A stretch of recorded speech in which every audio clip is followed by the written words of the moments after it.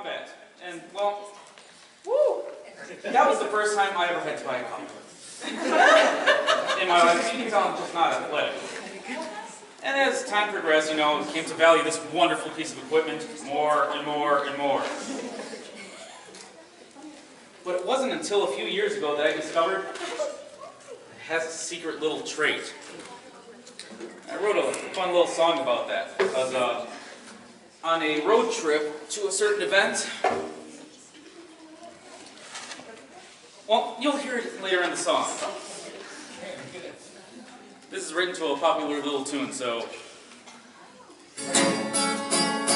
Ooh, that sounds horrible. Okay, so- a there. so there's two things.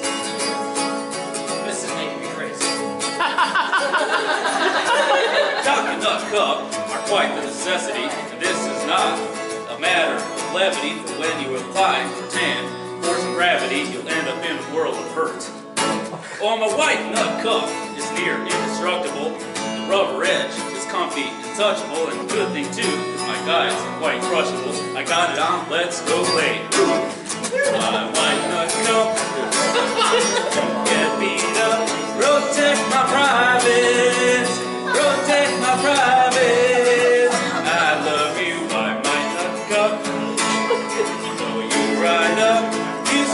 private, you save my private. How I truly do love that you never crack, and how I do love, nope, cause stop it, and how I do love that you're easy to pack, for you save me from my head to the sack, and that good gentles isn't fun. and I know rapier fires and nut cups as well, stop thrusting your junk, but sure hurt like hell. The cut thrust fighters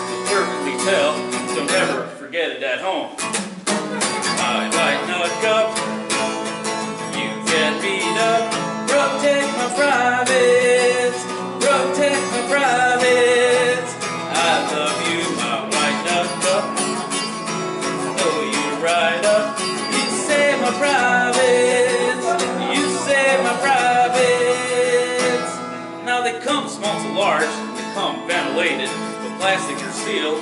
You're glad that they made it. Frequent washing of them is implicated. Same goes for women's jills. Oh, white nut cup, you're useful and old. You're more than equipment, you're also a cheese mold.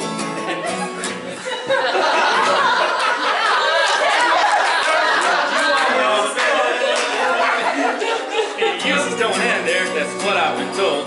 I know of one more myself. Oh, my nut cup, you're not just a cup. No, no, you're my drum. You're my makeshift crotch drum.